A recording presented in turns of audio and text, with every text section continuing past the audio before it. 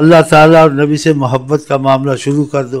दरूद की कसरत, नफल ज़्यादा पढ़ने, हर वक्त, वक़्त निकालना और कुरान की तिलावत से इश्क इलाही पैदा होता है।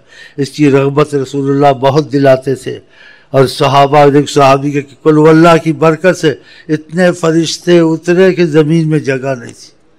तो कुल शरीफ ही पढ़ते रहा कि इसको कुरान नहीं आता। और जिसको आता है तो पाँच दिन में, चार दिन में जो मज़बूत है, जो वाक़ ये तमन्ना रखते हैं तो पाँच छः दिन में कुरान के ख़त्म करे, फिर ख़त्म करे। और ज़बान से कम पढ़े, आवाज़ से कम पढ़े, नज़रों से और दिल से आयतों पर गुजरे थोड़ी थोड़ी ज़बान हिलाए तो दस बारह मिनट में सिपारा ख़त्म हो जाएगा। तरीक़त में फैज़ लेना होता है। तरीक़त में फैज़ के अलावा दूसरी चीज़ें तो हैं, वो आलिम कहते हैं मानते हैं उसको। लेकिन हमको फैज़ की ज़रूरत ज़्यादा है, लफ्ज़ों की और किरात की ज़रूरत है, लेकिन कम है। हाँ फैज़ की ज़रूरत ज़्यादा है।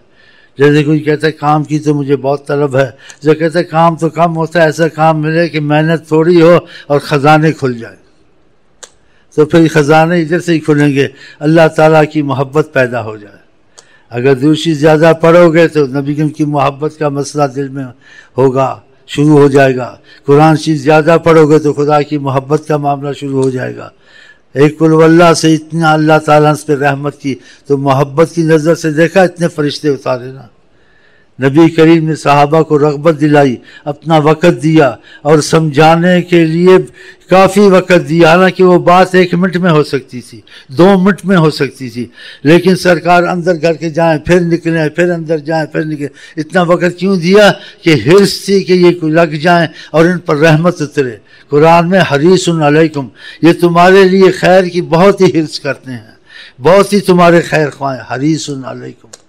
तो आपने एक दफ़ा रात को साहबा बैठे थे, कहा, तुम में से कौन दस सिपारे पढ़ के सोएगा? जब वैसे कहा तो साहबा मोहब्बत भी करते थे, अदब भी करते थे, लेकिन उनके ऊपर जिम्मेदारियाँ, बाल, बच्चा, घर, ये भी था, हजी, रोज़ी भी कमानी थी तो वो खामोश हो गया, दस सिपारों में लग जाएँगे, रात निकल जाएगी तो सुबह काम कैसे करेंगे जिम्मेदार? तो उन्होंने अदब से सर झुकाया, जवाब नहीं दिया। तो आप अंदर चाह जा जाके बैठ गए। कुछ बैठ के फिर वापस आए। कहा, बताओ तुम में से कौन दस सिपारे पढ़ लेगा? फिर सहाबा खराम खामोश कि हाँ करेंगे, पढ़े नहीं जाएँगे, ना करेंगे तो ये बेअदबी है। नहीं जवाब दिया, खामोशी रहे। फिर आप जाके घर में बैठ गए। ये उनकी खुशकिस्मती और नबी वसल्लम की इतनी तकलीफ़ उठानी, इतनी अजीम हस्ती होकर उनके पास आना, जाना, देखना, बोलना, उनका देखना, कितने खुशकिस्मत थे फिर गए, फिर तीसरी दफ़ा, फिर घर चले गए। जवाब नहीं। फिर तीसरी दफ़ा आए। कहा, तुम में से एक दफ़ा कुल वल्ला कोई पढ़ ले, वो दस सिपारों का उसका हो जाएगा। देखा, एक कुलवल्ला से तुम्हारे दस सिपारे, तीन कुलवल से तुम ख़त्म कुरान मिलता है। तो ऐसी रहमतें दौ, दौड़ते, छोड़ते हो। बताओ।